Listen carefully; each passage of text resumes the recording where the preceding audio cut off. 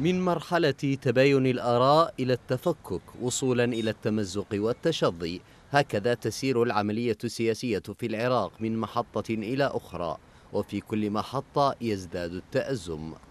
تداعيات الانتخابات السلبية لم تقتصر على الخلاف بين التيار الصدري والإطار التنسيقي وما رافق ذلك من صراع دموي بل حتى الإطار التنسيقي نفسه بدأ يتفكك. ما بين كتل تصر على إلغاء الانتخابات وأخرى تريد تسوية وفق المعطيات الحالية.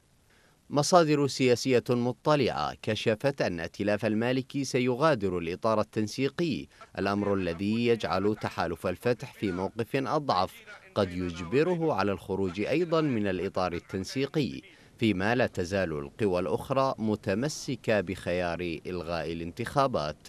تذكر المصادر أن سبب المغادرة هو إبداء مرونة في تشكيل الحكومة المقبلة مع التيار الصدري وخصوصا بعد وصول خبر من القضاء الحالي عن قرب المصادقة على النتائج الانتخابية.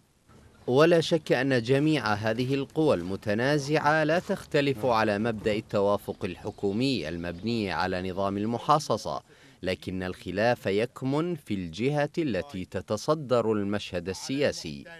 خطوة إلى الوراء لمراقبة مشهد ما بعد انتخابات عام 2018 تبين العراقيل التي واجهت تشكيل الحكومة آنذاك فامتدت الصراعات لعدة أشهر ثم شكلت حكومة عادل عبد المهدي المنقوصة.